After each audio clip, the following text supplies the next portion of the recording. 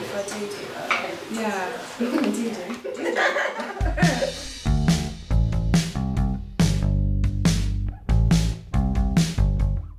So I thought I was pretty internet savvy, but the pool challenged a Take 5 to Stop Fraud expert to watch me and my mum for the day.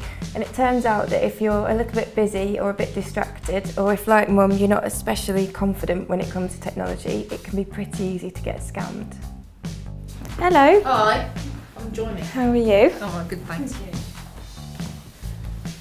How's it going? So Denise, it looks like you're really busy. This is a busy time for you when you're going out Yeah, to work, I trying to guess. get is it? out, Busy yeah. mornings. It's the perfect time of day for what we call vishing, and this is the the type of scam where someone uh, contacts you over the phone and tries to Yeah. get you to give away information or to do something under under pressure. I never like those sort of phone calls because I don't feel confident Mm-hmm. that it is who they're saying they are. And I'm a bit too polite as well. Oh, that's what we're like, So- isn't it? This is what we're like. you know, they keep going on. Yeah, that's right, and that's that's what they do. They put you under Yeah. pressure to say, um, you know, Yeah, something's okay. happened to your account maybe, or something along those lines, Yeah. and try and get you to do something under pressure. Like that sort of situation, no bank is ever going to ask you to move money to a safe account. They'll never ask you to give their full password or a PIN number over the phone. So if you get anything like that, you know straight away that it's a scam. Just Yeah. put the phone down and then call your bank back on a number Yeah. that you know and sort it out from there. Yeah, That's good advice. yeah. So Zoe, it looks like you're really busy first thing in the morning. Do you? I Mm, bet you get bombarded with emails even though you're trying to get through deadlines. Is that is that how how it works for you? Yeah, definitely. Like mornings are our busiest time, um, but I get so many emails that I sort of just seem to flip between what I'm writing or editing, and go straight onto the email because it, it annoys me. I know exactly what you mean, but fraudsters they know people are busy first thing in the morning trying to get things out of the way. So this is the time when they you might get a phishing email, which is where a fraudster's trying to um, maybe get you to click on a link. It might look genuine, Yeah. um, it often isn't. So anything unusual at all, even if it looks like somebody you normally deal with, just stop and think before you do anything. Yeah. Okay. Yeah, makes sense. I think I probably should take my time a little bit more.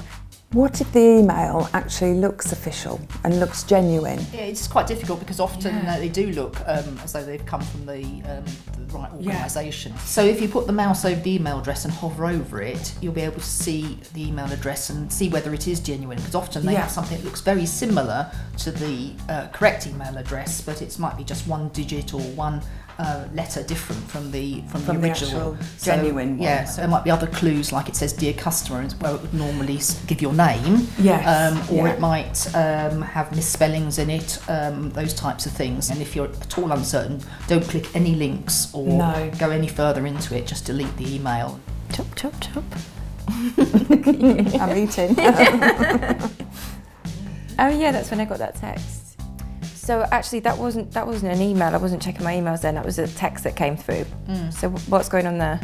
Well, unfortunately, um, fraudsters also use text to try and dupe you into giving away your information as well. So it, it's a technique called smishing. Um, so uh, it's just it's like getting an email. Smishing. Uh, smishing, yes. SMS phishing. Um, so it's uh, it's just another way of a fraudster trying to pressurise you into giving away information. That's when I was looking for birthday presents. Did you buy me something nice? Oh, of course I do. It's a special birthday. Okay, so Yeah. um, which um, website links did you click on? Um, I just sort of started at the top and worked my way down, really. And did you recognise all of them? Recognise some, Hmm. didn't recognise A lot all of them. yeah. So, so again, this is uh, the uh, where the fraudsters sometimes um, can um, trick you by directing you to fake websites. Sometimes, if a, even if a website comes up high in the search list, it doesn't Yeah. necessarily mean it's genuine. Sometimes it can be cloned or faked. So you really need to look closely before you decide to buy on something. It always pays to just check the website you're buying on. Yeah. And what about if you're buying something off one of those listing websites? That's a good question. So um, it might be a genuine website, but the person who's selling through the website might not be um, who they say they are. So um, if they asked you to click on a link, for example, or um, make a payment in an unusual method, not using one of the, the traditional payment methods that you would use in uh, those types of listing websites, um, then those are the sorts of warning signs which say to you, you know, think twice before you transfer any money to this person. So I guess ultimately it doesn't really matter how tech savvy you think you are. If you're sort of busy, as most of us are these days, it's quite easy to get scammed. Yes, it is, I'm afraid. And uh, I think, particularly if you're not particularly confident with um, buying online or banking online, stop and think before you actually click on a link or transfer that money or make the, make the uh, purchase. So, whether it be by phone, email, text, or fake website, the key tip to remember in all these scenarios is my money, my info. I don't think so. It's a really good way of just remembering hmm. to take five, take a step back, and not to be pressured into doing anything.